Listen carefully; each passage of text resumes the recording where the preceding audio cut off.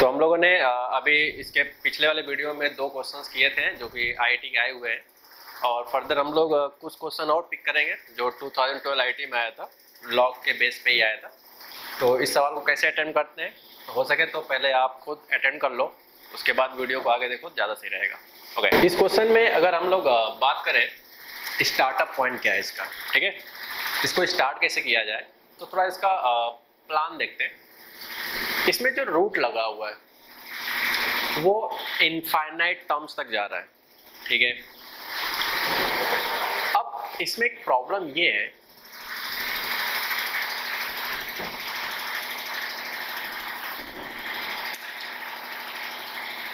इस वाले पार्ट को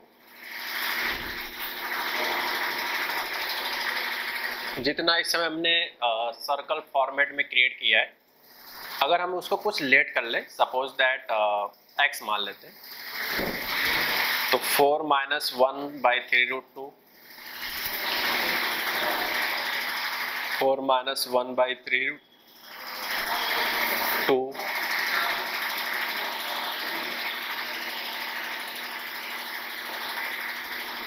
okay ये जो फ़र्स्ट रूट है, पूरे कंप्लीट इनसाइड नंबर के एंड सेकेंड भी कंप्लीट है एंड थर्ड भी कंप्लीट है। तो इस तरह से करते करते सारे रूट कितनी बार आने हैं आपके?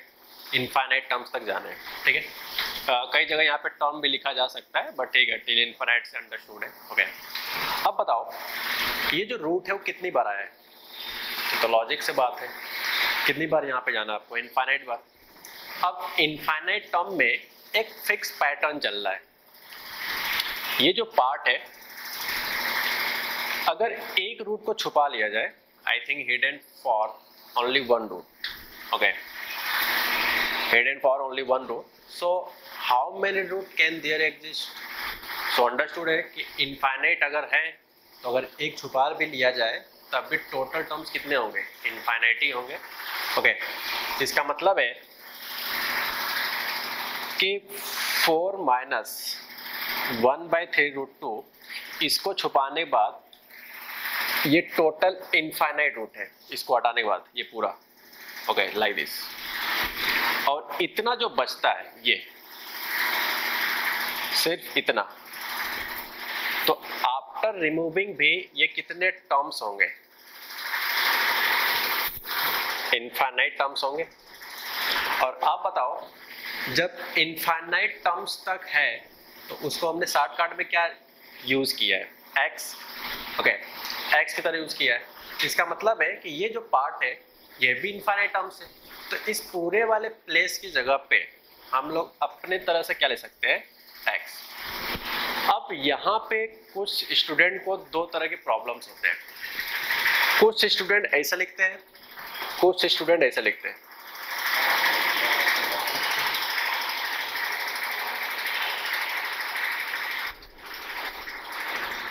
तो अगर मैं डिस्कशन की बात करूँ, ये वाला सही है कि ये वाला? तो मेरा कहना है कि सही ये वाला है और गलत ये वाला है। अब बात करते हैं ऐसा क्यों हुआ कि ये सही है और ये गलत है? देखो यार, यहाँ पे जो रूट लगा है ना, ये कंप्लीट नंबर के बाद रूट नहीं लगा है। ओके ये वाला चीज़ तब सही होता जब क्वेश्चन इस तरह के होते हैं समथिंग ये तब सही होता है जब क्वेश्चन में यहाँ ब्रैकेट्स लगे होते हैं। ये ब्रैकेट नहीं लगा है, इसीलिए क्वेश्चन को अच्छा माना जा रहा है। ओके तो आई थिंक क्लियर हुआ होगा कि इन दोनों में से कौन सही है। ये सही तब होता जब यहाँ पे ब्रैकेट, यहाँ ब्रैकेट एंड ब्रैकेट। ओके, मैं इसको रिमूव कर देता हूँ। ये वाले बात लोगों से काफ़ी सारे मिस्टेक्स होते हैं, इसलिए मैंने दोनों पॉइंट ले लिया था। ठीक है, अब यहाँ सॉल्व करते हैं। अब जो भी प्रोसेस होगा, सिर्फ़ कैलकुलेशन के लिए होगा। Both side whole square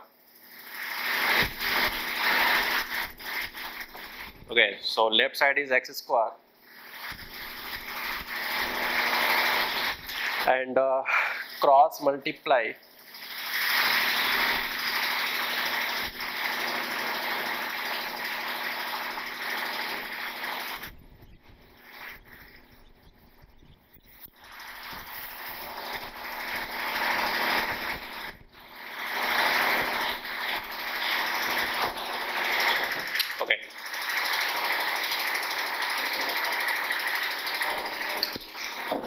part को फैक्टर करते हैं। तो आई थिंक फैक्टर सबको आता होगा फ़िलहाल तो। ओके तो मैं यहाँ से कर लेता हूँ।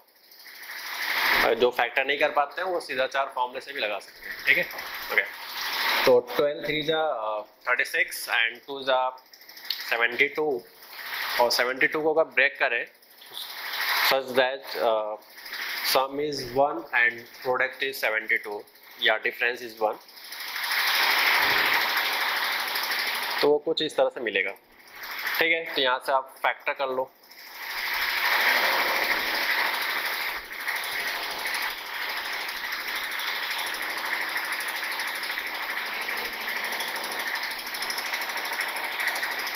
तो यहाँ से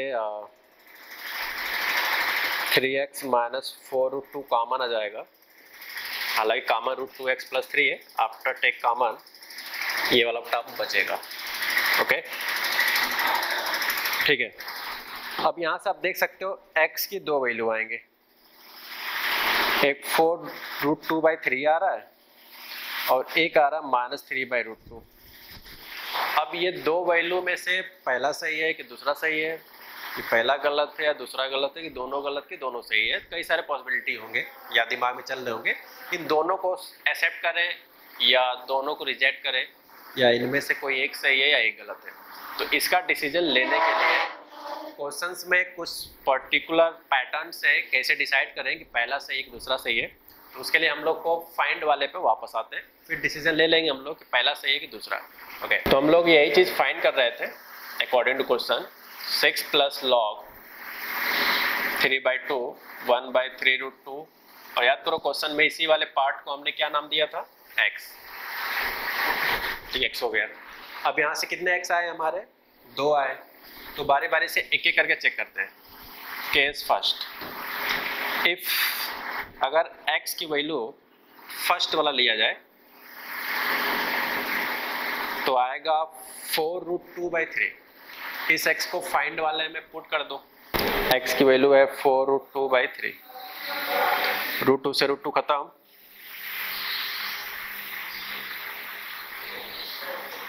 यहाँ पे फोर और यहाँ पे थ्री इंटू थ्री तो ये हो जाएगा आपका फोर बाई थ्री का स्क्वायर आई थिंक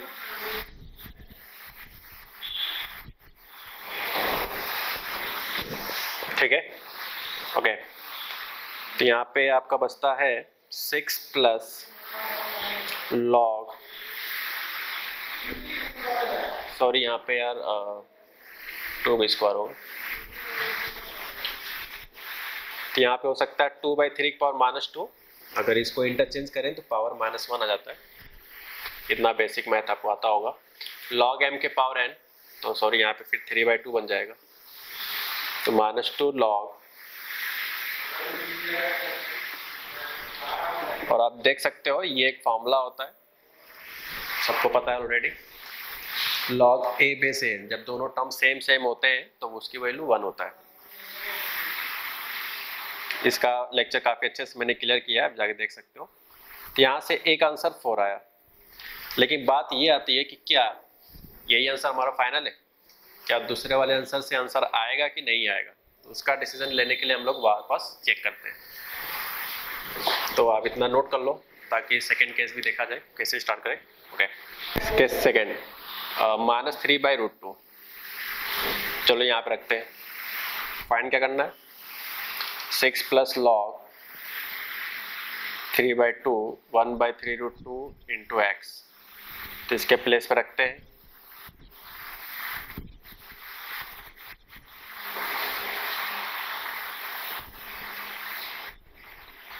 ये मैं कुछ ज़्यादा ही सॉल्व कर रहा हूँ फ़िलहाल बट ये अंडरस्टूड है कि ये वाला जो पार्ट है, ये अनडिफाइंड है। अब ये अनडिफाइंड क्यों है?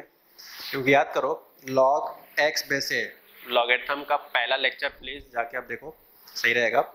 मैंने बताया था कि लॉग ए बेस बी कब डिफाइन होता है? ये मैं थोड़ा सा रिकवर करा रहा हूँ लॉगेथम के फ़र्स्ट लेक्चर का। ये डिफाइन तब होता है जब ए वाली बात यानी ये वाला प्लेस जो है वो पॉजिटिव हो।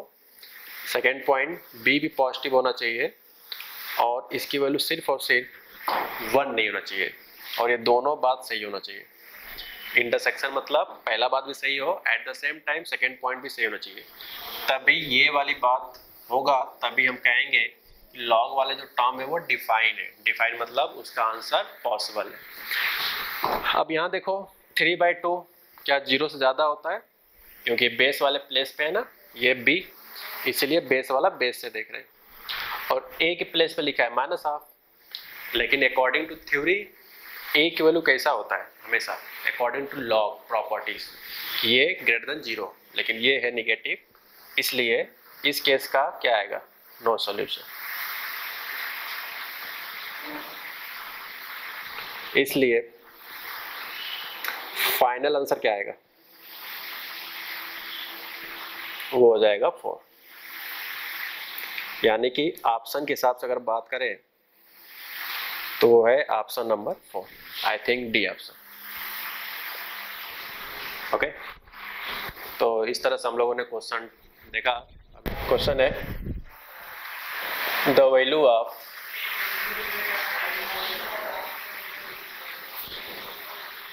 log nine base two का whole square one upon log two 9 base 2 into root 7 1 by log 7 base 4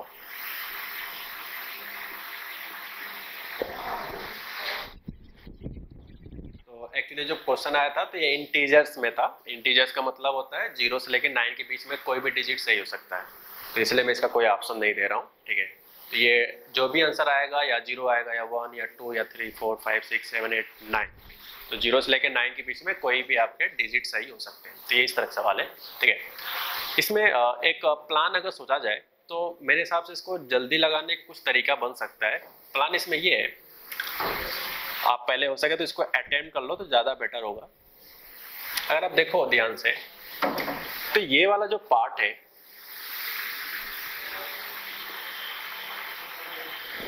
ये जस्ट बट कैलकुलेशन में काम आएगा इजी वे में आप वर्क कर पाओगे।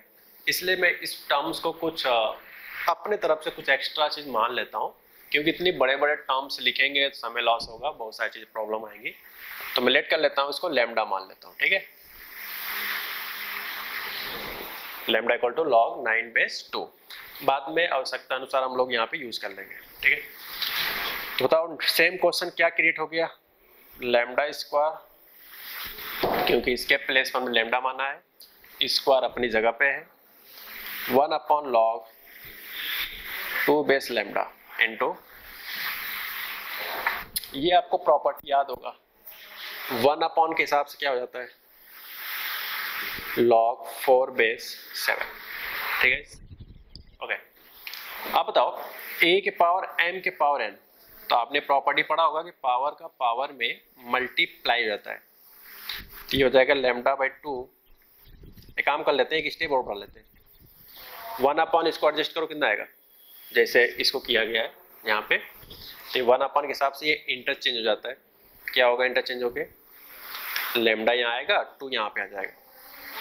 रूट सेवन को ले सकते हैं सेवन के power one by two log four को ले सकते हैं टू का स्क्वायर ठीक है? फोर को ले सकते हैं टू का स्क्वायर अब बताओ ए के पावर एम के पावर एन ये हो जाएगा आपका टू के power two log two base lambda into ये हो जाएगा हाफ़ टू सामने आ जाएगा। ठीक है ये ब्रैकेट में लगा सकते हो अगर चाहो तो।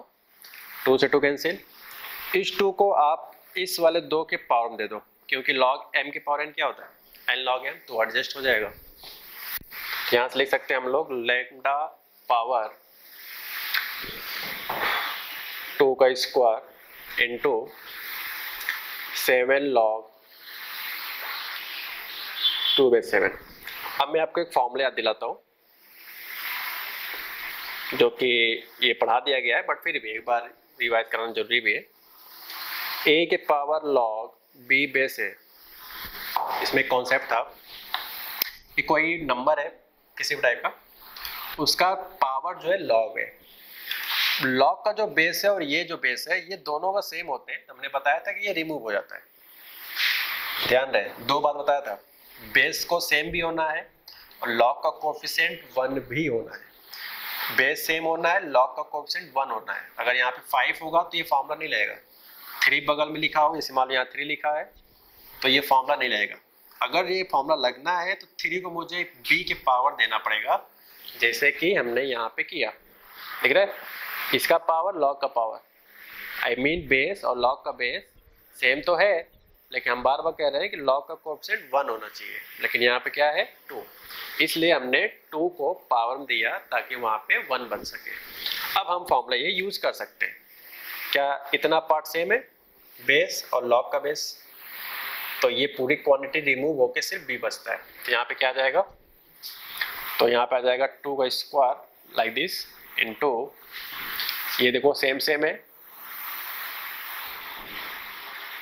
तो ये भी सेम सेम है तो ये भी हट जाएगा। तो सिर्फ़ क्या बचेगा? टू तो ये टू का स्क्वायर फोर इंटू टू कितना आ जाएगा?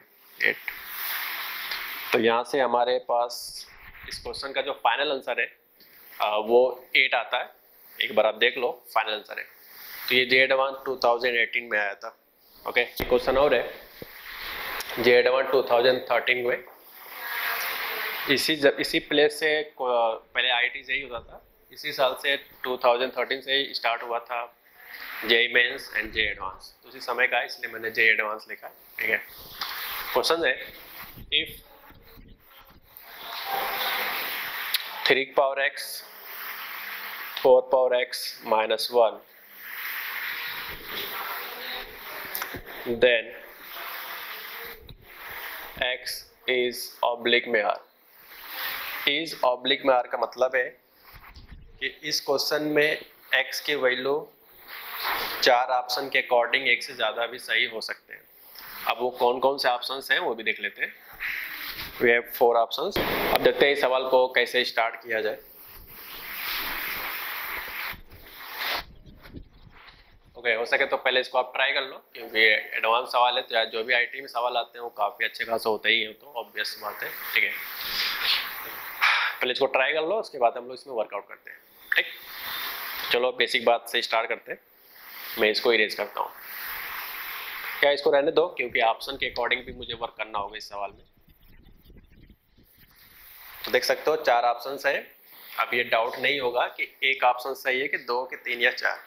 क्योंकि मैंने इज़ भी लिखा है आर भी लिखा है। मतलब एक भी सही हो सकता है, एक से ज़्यादा भी सही हो सकता है। ठीक है? ओके चलो स्टार्ट करते हैं solution three power x four power x minus one पूरी मैथमेटिकल टूल्स में सिर्फ़ और सिर्फ़ एक ही ऐसा फ़ंक्शन होता है जिसकी वजह से कोई भी पावर सामने आ जाता है। सिर्फ़ एक ऐसा फ़ंक्शन है पूरे मैथ्स के डिपार्टमेंट में। सिर्फ़ एक। ओके चलो, वो बात भी करेंगे कुछ मिनट के बाद। थोड़ा बेसिक बात यूज़ करते हैं कि क्या कारण है कि एडवांस में पूछा गया है। आपको लग रहा होगा कि ये सवाल तो यार क्लास एट में भी किया जाता है। ठीक है तो एट में किस तरह के सवाल करते हैं, वो थोड़ा भी देखना ज़रूरी है। जैसे मान लो, यहाँ पे नाइन लिखा होता या थ्री लिखा होता बाई चांस तो ये तो बेसिक फॉर्मूला यार, सबको पता है कि बेस सेम होता है तो पावर इक्वल हो जाता है। अंडरस्टूड मान लो नाइन लिखा है तो बेस तो नहीं सेम है। लेकिन क्या इस केस में बेस को सेम बना सकते हैं? बिल्कुल बना सकते हैं। देखो, फिर से बेस सेम हो गया तो क्या पावर इक्वल करके हम लोग सॉल्व कर सकते हैं? बिल्कुल। लेकिन जो एग्ज़ाम में आया हुआ सवाल है, उसमें क्या डिफरेंस है? जैसे यहाँ पे लिखा है फोर क्या आप फोर को थ्री के पावर में कुछ लिख सकते हो क्या? बिल्कुल नहीं लिख सकते क्योंकि फोर को ज़्यादा ज़्यादा लिख सकते हो टू का स्क्वायर इससे ज़्यादा तो होने वाला ही नहीं कुछ ओके और थ्री को भी फोर के पावर में सेट नहीं कर सकते। तो इसलिए ये सवाल एडवांस में आया है, क्योंकि ये वो सवाल नहीं है कि जो आप क्लास एट वोट में करते हो कि बेस सेम है तो पावर इक्वल कर लेंगे ओके अगर वैसा होता तो यार वो एडवांस में थोड़ी पूछते, ठीक है? वो भी आई टी एग्ज़ाम में पॉसिबल ही नहीं है। तो इसलिए इस तरह के सवालों को कैसे हैंडल किया जाए? कभी भी इस तरह के सवाल आते हैं कि पूछने वाला जो वेरिएबल है, पूछने वाला जो वेरिएबल यानी एक्स है, वो किसी भी नंबर के अगर पावर में लिखा हो तो हमेशा इस तरह की सिचुएशन में बोथ साइड लॉग लेते हैं।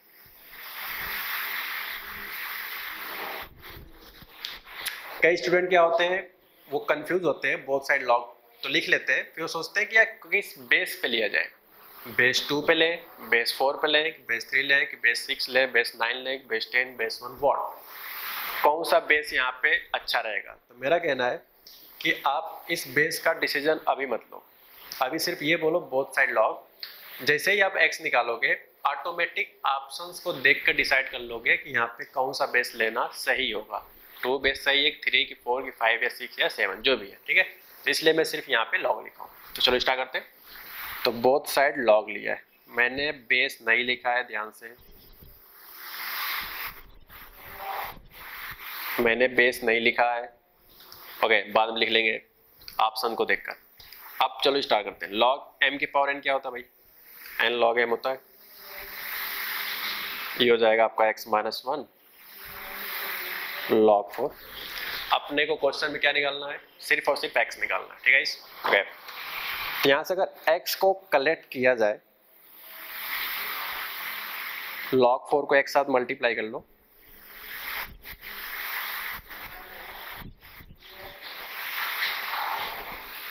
ठीक है? तो यहाँ से आई थिंक आपका जो x आएगा, वो आ जाएगा log four divide by log four minus log three ध्यान रहे, किसी भी जगह पे बेस नहीं लिखा गया है। और x की वैल्यू आ चुका है। x की वैल्यू आ भी चुका है, किसी भी जगह बेस नहीं लिखा गया है। तो हमारे हिसाब से अगर पेपर सब्जेक्टिव होता तो ये भी आंसर हमारे सही होते। हैं बट हमें क्योंकि ऑप्शन को देख कर आंसर को टिक करना होता है, इसलिए मुझे ऑप्शन के हेल्प से ही इसके आंसर तक पहुँचना है। तो कैसे देखो। पहली बात ये देख सकते हो ये दोनों सेम सेम मुझे नज़र आ रहे हैं। तो काम कर लेते हैं लॉग फोर से डिवाइड कर देते हैं। लॉग फोर से डिवाइड तो ये और ये फिनिश हो जाएगा। तो यहाँ बचेगा log three divide by log four ठीक है अब आपको ये प्रॉपर्टी याद होगा। मैं याद दिलाता हूँ कि लॉग ए अपॉन जो लॉग बी लिखा होता है, इसको हम लिख सकते हैं log A base B log A पे भी कोई बेस नहीं है लॉग बी में भी कोई बेस नहीं है, लेकिन अगर इन दोनों को इकट्ठा किया जाए आई मीन कलेक्ट किया जाए तो ए यानी न्यूमिनेटर वाला नंबर हो जाता है और डिनोमिनेटर वाला नंबर उसका बेस बन जाता है। ये भी हम लोग फॉर्मूला स्टडी कर चुके हैं तो मैंने बस याद दिलाया है ताकि यहाँ पे वर्कआउट कर दिया जाए ठीक है? ठीक है तो यहाँ पे हो जाएगा x one minus log three base four तो एक देखो, ये भी आंसर सही था, ये भी आंसर सही था। इस, ये कैसे आया है? यहाँ पे क्या लिखना चाहिए? डिवाइड बाई लॉग फोर ठीक है? ओके तो ये भी सही है, ये भी सही है। बट क्या इस प्लेस पे ऑप्शन मिल रहे मुझे लगता है मिलना स्टार्ट हो चुका है। अब देख सकते हो। बी वाला पार्ट मिल रहा है। श्योर बी वाला पार्ट यहाँ पे मिलना स्टार्ट हो चुका है। अब क्योंकि इज़ और आर लिखा है तो मुझे ये भी जज करना ज़रूरी है कि कहीं एक से ज़्यादा ऑप्शन तो नहीं सही है। शायद ऐसा हो भी सकता है। तो देखते हैं कौन कौन से ऑप्शन और भी सही पॉसिबल है यहाँ पे। सो नाउ स्टार्ट तो ये भी एक आंसर है। ठीक है। अब इस प्लेस से अब एक प्रॉपर्टी और लगाते हैं। फोर को ले सकते हैं टू के पावर टू बेस वाले फोर ले सकते हैं टू पावर टू और याद करो, एक प्रॉपर्टी था कि किसी भी लॉग में अगर बेस के पावर होता है तो सामने वो भी आता है बट वो रेसिप्रोकल में पावर आता है। तो जैसे यहाँ पे टू लिखा है तो सामने आएगा वन अपॉन टू ठीक है तो यहाँ से हो जाएगा टू अपॉन एल्सियम उल्सियम लेके सॉल्व करोगे तो ये आ जाएगा। तो क्या सेम बात को हमने एक अलग फॉर्मेट लिखा तो ये भी एक आंसर हो गया। तो क्या ये आंसर सही है? चेक कर लेते हैं। तो आप देख सकते हो, ये मिल रहा है। अब बचे दो ऑप्शन वन अगेन फिर से दो ऑप्शन बच रहे पेंडिंग में देखते हैं इसको कैसे हम लोग मैनिपुलेट करके क्रिएट करें। तो आई थिंक ये हो गया। तो दो ऑप्शन अब तक सही हो चुके हैं। यहाँ पे अब मैं इससे चल रहा हूँ। Two upon two log three base two को हम लिख सकते हैं लॉग टू बेस थ्री इस तरह से। इंटरचेंज वाला फॉर्मूला पढ़े होंगे हम लोग। लॉग ए बेस बी होता है तो इसको वन अपॉन लिख सकते हैं। इसको यहाँ मल्टीप्लाई करो। Two log two base three minus one log two base three ये वाला पार्ट अब ऊपर चला जाएगा।